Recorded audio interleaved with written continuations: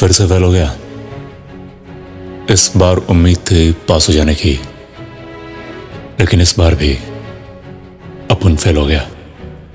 जब भी फेल होते हैं, दर्द होता है ना। कुछ लोग रो रो कर, कुछ लोग चीज़ें तोड़कर अपने इस दर्द को कम करने की कोशिश करते हैं। लेकिन मैं नहीं, क्योंकि मुझे इस दर्द को कम नहीं और बढ़ाते जाना है। दर्द के इस पारे को नॉर्मल पे नहीं, उस फीवर से भी ज़्यादा ऊपर चढ़ाते जाना है। क्योंकि यह दर्द बहुत कीमती है। गोल्ड है, डायमंड है। मेरे हिसाब से हमें खुशी मनानी चाहिए कि हम फेल हुए। क्योंकि फेल वही होते हैं जो मैदान में उतरते हैं, जो खुद को आजमाने की हिम्मत रखते हैं। असल में जीतना नहीं, हारना ज़्यादा ज़रूरी है। पल भर की झूठी वावाही से अच्छा तो वो हार से मिला मुझे। जीवन भर का लेसन है। कोई गलती करी होगी, तभी तो हारे हैं। तभी हमें इस हार की घिनौनी शक्ल देखनी पड़ रही है। तो करेंगे ना, इसका इलाज भी फेयर एंड लवली से। हम करेंगे ना। और ये साली ज़िंदगी है ही क्या? क्या वो पिक्चर अच्छी लगेगी? जिसमें हीरो बस मज़े से चने खाता घूमे। प्यार भी आराम से मिल जाए और मंजिल शुरू से ही कदमों में लेटी रहे। और पिक्चर का नाम हो, सब मस्त चल रहा है। कौन देखेगा ऐसी पिक्चर जब हमें कहानी में पिक्चर में, किताब में मसाला चाहिए। तो अपनी कहानी में जरा सा नमक गिर जाने पर इतनी चिल्लम चिल्ली क्यों भाई? पिक्चर वही हिट जाती है, जिसके अंदर विलन सबसे खतरनाक हो। हीरो को नीचे से उठकर ऊपर तक आना पड़े और दर्द उसका हथियार बनता चला जाए। शिकारी बनने के लिए क्या चाहिए? एक शिकार और एक हथियार। पर ज़्यादातर लोग शिकारी क्यों नहीं बन पाते? क्योंकि किसी के पास शिकार है।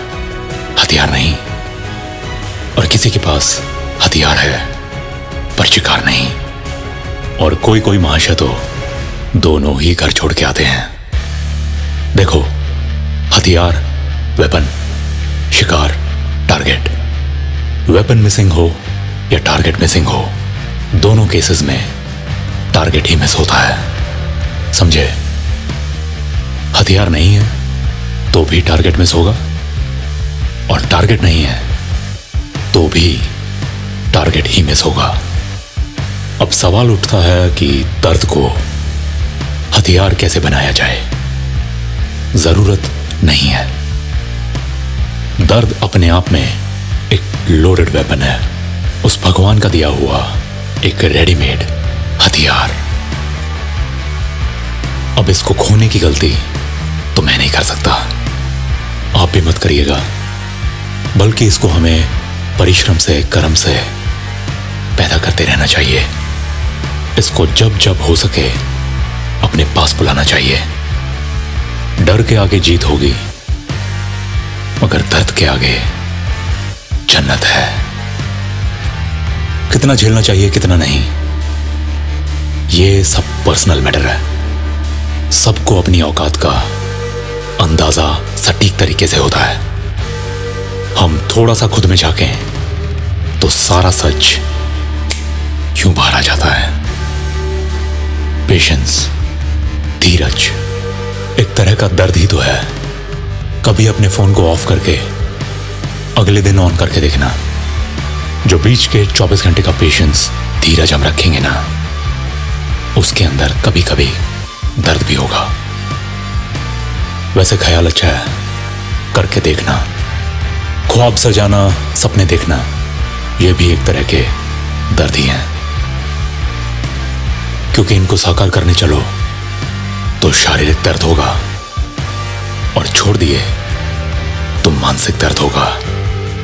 बेटा, दुनिया में आए हो ना तो ये साला दर्द तो होगा ही होगा।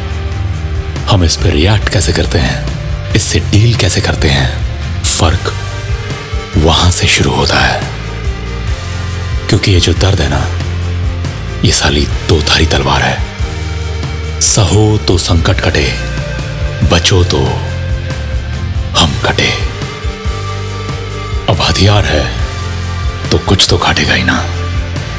अब इससे कटना है या इससे काटना है, वो हमारे हाथ में है। ये भाई साहब हमारे पीछे पड़े हैं। इससे अच्छा हम इनके पीछे पड़ जाते हैं। इसके दो फ़ायदे हैं। एक ये कि हम इसको तैयार मिलेंगे और दूसरा ये कि इसको तैयारी बहुत पसंद है। तैयार हो यार तो सीधा जमना पार। तो अगली बार अगर हम फेल हो जाएँ तो खुद को कोसे ना। किसी से भी खुद को कम ना समझें। और जीत जाए तो किसी से ज़्यादा भी नहीं। ये रेस हमारी खुद से है। तो खुद को ज़्यादा सीरियस भी नहीं लेना, लेकिन साला सीरियस से आधा भी नहीं। अपने भाव हम खुद गिराते हैं और खुद चढ़ाते हैं। जब कोई आउटर इवेंट हमारे भाव गिरा या चढ़ा के चले जाते हैं। तो हमारा खुद पे से कंट्रोल खोने लगता है। मैं कौन हूँ, ये एक एग्ज़ाम नहीं। मैं खुद डिसाइड करूँगा। फेलियर हो या सक्सेस इन दोनों में से मुझे कोई दुखी या खुश नहीं कर सकता। हंसता हूँ तो दिल से, रोता हूँ तो दिल से। सबका अपना अपना मैटर है। इसके बारे में कोई नहीं कर सकता। अब ये तो वो हो गया कि सर्दी में मैं दुखी और गर्मियों में खुश। मतलब आधा साल में फूला फूला घूमू और आधा साल रहूँ बिल्कुल फुस तो हार जीत लगी रहती है। जीत जाओ तो उसका ढोल मत पीटो। हार जाओ तो बन जाओ मॉस्किटो। जब वो किसी की ताली से ज़िंदा बच जाता है तो चुपचाप दीवार पे जाके शांति से बैठ जाता है। अपना वक्त लेता है। खुद ही को हौसला देता है। और पहले से भी ज़्यादा शातिर बनकर अपने टारगेट की तरफ़ उड़ान भरता है।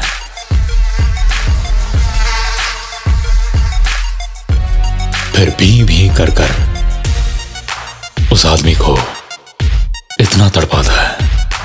इतना तड़पाता है। कि साले काटूँगा नहीं।